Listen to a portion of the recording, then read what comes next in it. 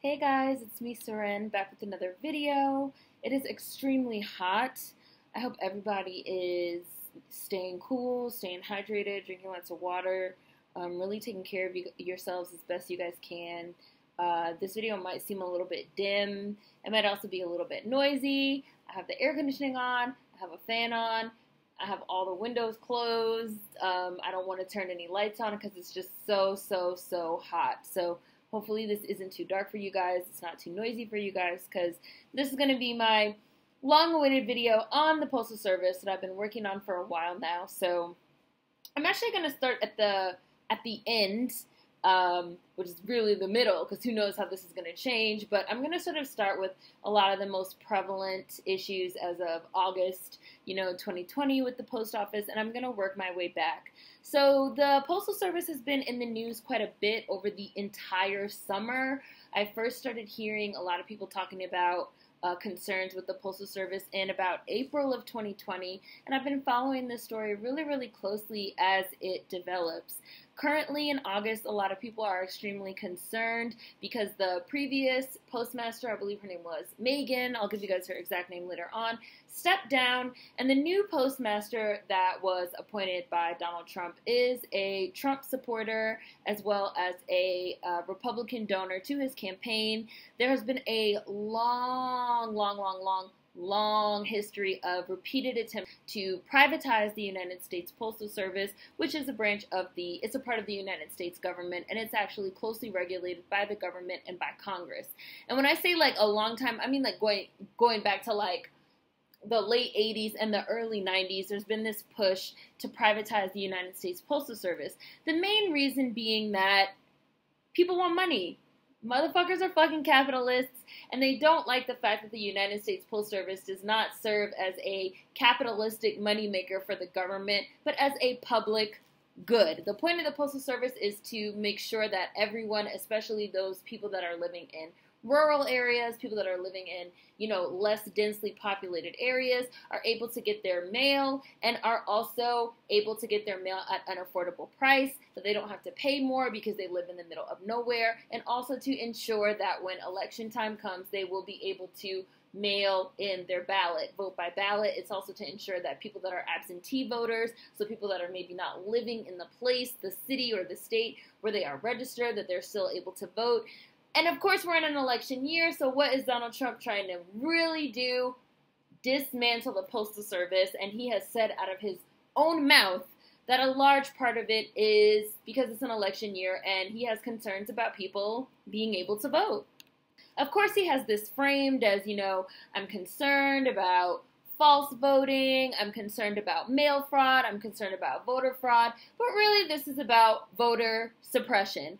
Uh, a lot of you guys may have been seeing a lot of talks about the Postal Service in tandem with the Electoral College because, again, part of why the Electoral College exists is to ensure that people that live in more rural areas, less densely populated areas, are able to have a say, are able to have a vote. Historically, this has also been tied to American chattel slavery, as you generally had people that didn't support slavery that lived in the cities, and a lot of the times you had the slaveholders that were living in the rural South, you know, living in the country, wanting to be able to, you know, still have political power and not just have the political power in the hands of the cities, which we still have this kind of fight to this day over the Electoral College, and the United States Postal Service is really, really tied closely and intrinsically to this. Uh, there was supposed to be a hearing on the new postmaster's dismantling of um, the USPS and kind of starting over organizationally in September. That's actually been bumped up to next week. Today is August 17th. That's actually been bumped up to next week because there are, you know, increase people are becoming increasingly alarmed about the state of the postal service. There have been reports of them removing mailboxes. There have been reports of the new postmaster removing the high-speed mail machines. And the postmaster, I believe his name is DeJoy. I'm gonna tell you guys these people's exact names. I'm just kind of giving you the rundown really, really quick. Um, the postmaster has said that he's doing these things as an in an attempt to overhaul the postal service. You know, he he is a Republican for decades. The Republicans have had an issue with the fact that what they feel that the Postal Service doesn't make enough money. In 2006, Congress actually voted that the USPS had to pre fund pensions for postal workers. And so $5 billion is allocated out of the United States Postal Service at the very least every year for this, and they're basically running out of money. The Postal Service is not privatized, it's not owned by a private entity, it's not owned by a person, it's not owned by the government. So let's say, talk about how, for example, Jeff Bezos bought the Washington Post. Now he privately funds the Washington Post. I believe the Atlantic was bought uh, by a philanthropic billionaire and is now privately funded. What the Republicans are really pushing for is the privatization of the Postal Service so that one person or one entity, one corporation, you know, in the United States, corporations are motherfucking people, owns the Postal Service and is able to sort of drive prices the prices of stamps, the prices of envelopes, the prices to ship, you know, instead of having set low prices because this is supposed to be a public service by the United States government, just like how you know you're supposed to be able to send your children to public school if you want for free and have them still get a quality education. This is supposed to be a service that's provided by the United States government to ensure that all people can receive mail, can send mail, and ultimately can vote via the mail. Republicans are trying to privatize all that shit. They're trying to make it so that it's in the hands of an individual or a corporation, and preferably one that's in the Republicans' back pocket, like this recently appointed postmaster. Alarm bells are ringing. Alarm bells are ring gang about all of this. So, in addition to all of this, I'm going to go back a little bit. When I first started following this story in April, the big issue was that the United States Post Office, excuse me, was running out of money, right? That they just don't have enough money. They have to sink all these money, this money into pensions. Trump has long said, Republicans have long said that the issue with the USPS is that they don't want to raise prices to be competitive, going up against Amazon, going up against FedEx, going up against DHL, that they need to raise their prices. And if they can't raise their prices, they need to basically sell the Postal Service off to the highest bidder that's going to be able to fund them, right? But as as I started following this story back in April when they were originally running out of money, my biggest issue with it back then was that the United States Post Office has long been a way for black Americans in the United States to become upwardly mobile. It has long been seen as a stable job with really good benefits, with decent pay, and a way for black Americans who are by and large overemployed by USPS to sort of get a foothold in and be able to you know, save money, hopefully become homeowners, hopefully begin to create some wealth. The United States Postal Service has long been a way for us to do that. So when they originally started sounding these alarm bells back in April that they were running out of money, the very first concern that a lot of people had was, you know, if the USPS runs out of money and they have to lay people off, or you know, God forbid, they end up going under. That's going to be a what has historically, you know, for centuries, since the beginning of the Postal Service, since Stagecoach Mary, who I did a Hidden Figures on, since since the Wild West, when black Americans, freed slaves or former slaves, were hired to go out to the West to escort the mail and to become, you know, postmasters. You know, that was us. Like, this is something that has historically been ours and has benefited us. And I feel like there hasn't been a ton of discussion about this, but I, I honestly, like, I would not be surprised to learn that a huge part of the sort of Republican aim to torpedo USPS has not, you know, in addition to voter suppression, had a racial undertone, you know? And it's interesting to me because prior to all this, you know, voter suppression talk, Democrats were also not super on board with saving USPS, okay, until it, it, it turned into like a voting, a voting right thing in April and May and June, when we were talking about black Americans are going to really feel this if USPS goes under, there was just a lot of shrugging and kind of like, well, you know, we'll figure it out. We'll worry about it when we get there. But now that we're talking about voter suppression, people are just sounding these alarms, which even gets me back to my live stream of what I was talking about last week of black Americans so often finding ourselves between a rock and a hard place in terms of, you know, when when we're the canary in the coal mine and when things are benefiting are, are you know are benefiting us and then they're gonna you know be used to our detriment nobody really cares. And yet these things by and large over time snowball into larger and larger issues that always end up affecting the american public as a whole. And then three four five months later motherfuckers get concerned. Like how about you listen to black americans from the beginning when we start you know? So a lot of people are just really concerned as well that with COVID in an election year, with people that are not going to be really comfortable with, you know, going to polling places, being inside, standing in long lines with a lot of people, that there's going to be an influx of people anyway that would want to, you know, vote by mail, that it, it's an election year, so there's just always an influx of mail. And it seems like they're trying to undermine, you know, the ability for people to vote via mail when there will be, you know, most likely substantially less in person voting. And just in addition to that, like overall, the way that we use the postal service is, you know, it is a service. Like it's an essential service. Like people receive their social security checks through the mail. People receive their prescription drugs through the mail. You know, again, senior citizens, rural citizens. You know, people.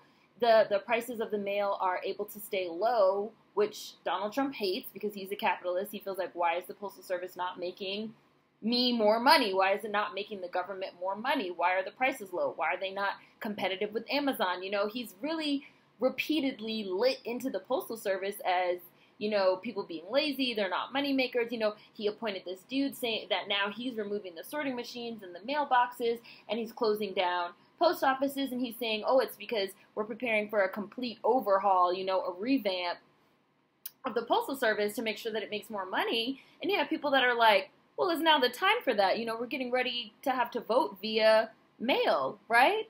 It seems very suspicious. And so now they've moved up this hearing to next week. So they're they're going to try. They're having a congressional hearing to see if you know laws are being broken, which they are. So I'm just going to read you guys some excerpts uh, from some articles that I have saved on this that I will include links in the description box. Uh, from and these are from you know over the summer. My earliest one that I have saved is from April 17th. That's one I'm looking at right now. U.S. Postal Service will soon collapse without emergency funds. The U.S. Postal Service will run out of money by the end of September if Congress doesn't provide emergency funding, according to this is the Postmaster General at the time, Postmaster General Megan Brennan, who gave a private briefing to some members of Congress on Thursday. The news comes at this was April 17th.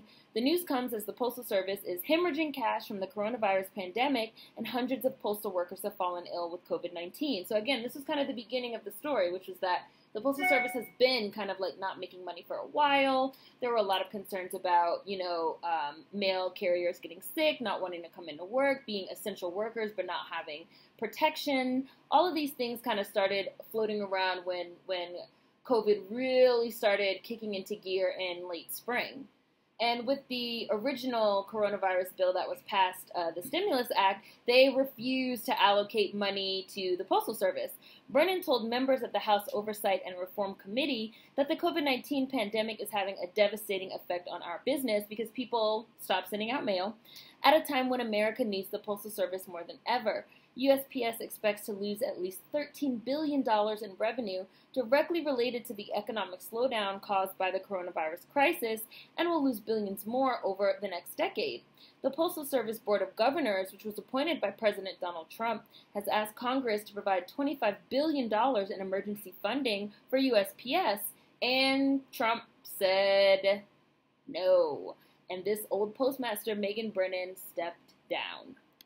Some lawmakers, postal union representatives, and others who rely on the service now fear that the Trump administration is trying to use the current crisis to achieve conservatives' long-standing goal of nudging the mail service toward privatization, either by setting highly prescriptive loan terms or by essentially forcing it into bankruptcy. And now we have this new general postmaster after the old one, Megan, stepped down, that's saying that he's doing a complete overhaul. And it really seems like he's stripping the service down to just completely dismantle it. It's almost like some type of corporate espionage. I watched this documentary on how uh, this was what was done to like Sears. Like they hired this CEO and he just like brick by brick dismantled the brand, stripped it, sold everything off, steered it into bankruptcy, collected his little money, and moved on. You know, like vulture, vulture type shit. The Postal Service is fighting for its survival, putting in jeopardy the careers and paychecks of its 650,000 employees who are overemployed, you know, black Americans by and large, as well as the more than $1.7 trillion mailing industry that employs more than 7.5 million people. We cannot allow the Postal Service to collapse.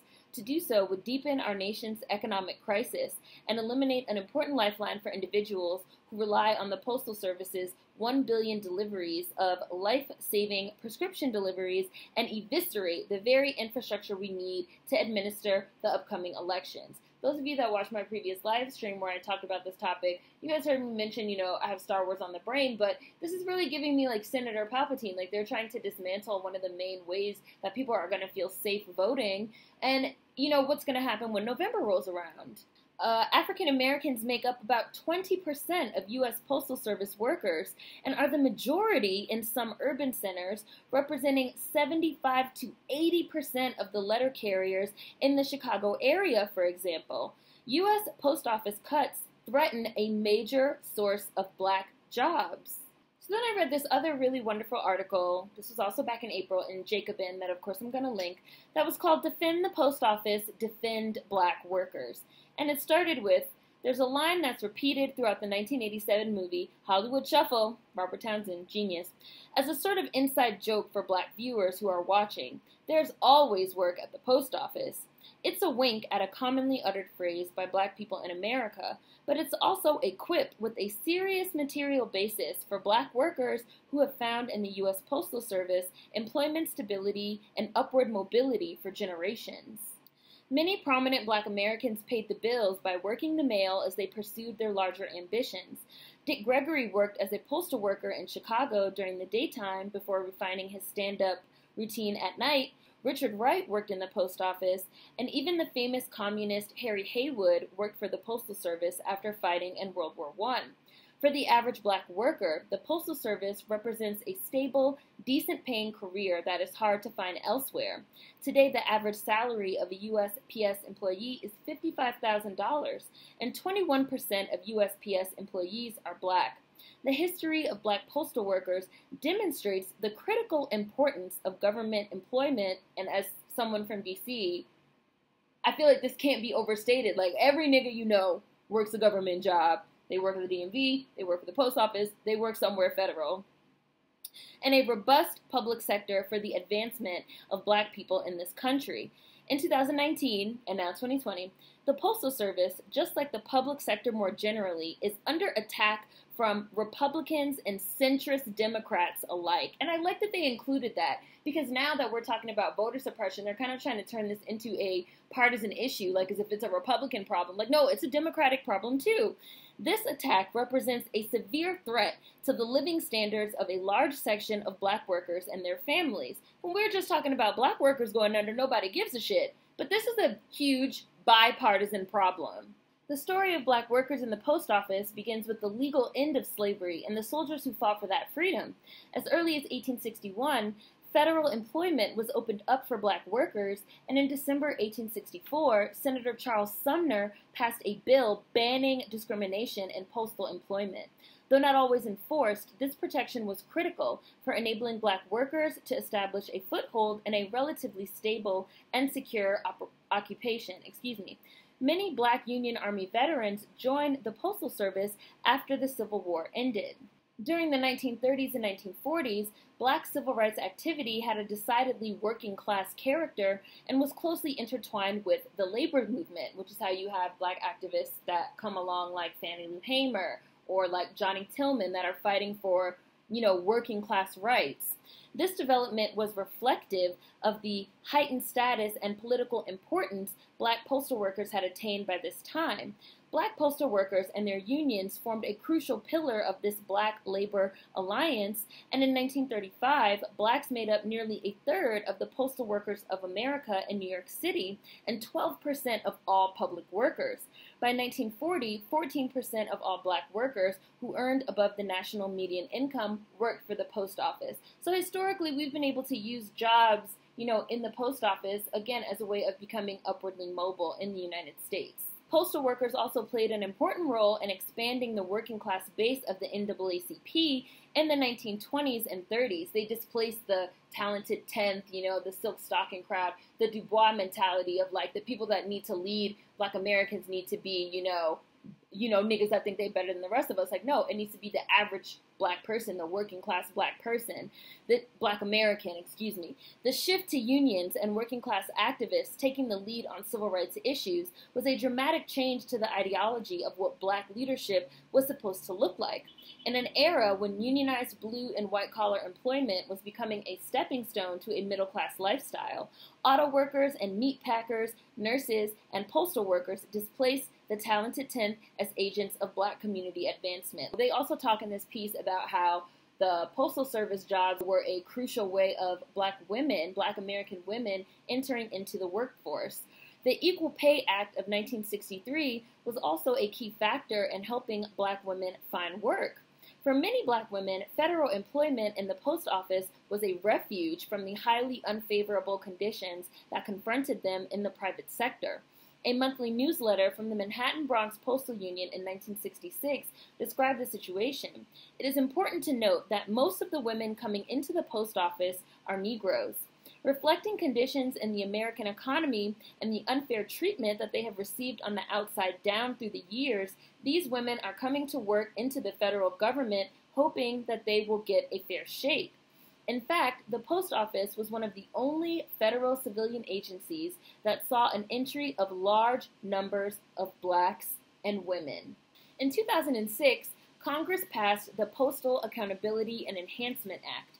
This act manufactured a financial crisis for the Postal Service by forcing them to pre fund all retiree health care costs 75 years into the future, even for workers not yet born. No other company or government agency has to abide by such a law. This alone has robbed the USPS of an estimated $5.6 billion over a 10 year period.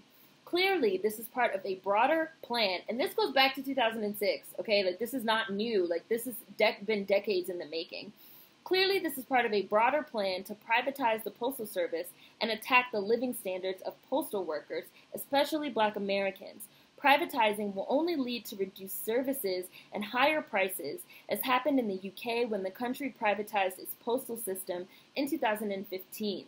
Today, one in five black workers is employed in a government job. The slower recovery for blacks in the labor market is partly due to federal job cuts. In 2000, the median income of black men who worked full time in the public sector was 15% higher than those who worked full time in the private sector, for black women, it was 19% higher. Good postal service job, like black women are, are, are like really benefiting off being employed by the postal service. Good postal service jobs are ones we can't afford to lose. Uh, and as of today, August 17, 2020, just going to read a little bit of current information. I knew this man's name was DeJoy, the new postmaster. Postmaster General Louis DeJoy has agreed to appear for a U.S. House Oversight Committee hearing next week DeJoy, who is an ally of President Trump's and a major Republican donor, took over leadership of the Postal Service in May, and pressure has grown throughout the summer for him to answer questions about his plans to implement an organizational realignment at the agency. The American people want their mail, medicines, and mail in ballots delivered in a timely way, and they certainly do not want drastic changes and delays in the midst of a global pandemic just months before the election. Like, we don't want that, and we also can't afford to lose these jobs for black Americans. Concern about the changes was bubbling a month ago as they went into effect, but Trump's comments, in which he seemed to tie USPS funding to his hope of hampering mail in voting expansions, drastically increased the urgency for lawmakers. House Speaker Nancy Pelosi is calling the House back into session this week to pass a bill aimed at halting any changes within the Postal Service that would affect the level of service this fall. The oversight hearing with DeJoy, which was originally planned for September, is now moved up to August 24th, and DeJoy is basically going to have to explain these issues. So, you know, you guys have, I'm sure, been seeing a lot of like, save the post office, save the post office, save the post office. And we absolutely need to save the post office. We need to support the post office. We need to support post office workers, and especially black Americans. Like, it's, it's, voter suppression obviously is huge, obviously. But it's not just about voter suppression. Aside of from, you know, bipartisan politics, which you guys know how I feel about that. I feel like our bipartisan system is damaged beyond repair and I don't believe in it. But even outside of that, we're talking about, you know, black Americans and something that's going to affect us and something that's been affecting us and something that nobody cared about until it started to affect their politics. So think about that. Support the post office. Support the post office. Write to your local officials, buy stamps, buy postcards, sign petitions, email, mail. This is going to have a huge impact on black American workers. So this is something that we really need to stay on top of. Food for thought as always. There will be links and information in the description box. See you guys next time. Save USPS. Peace.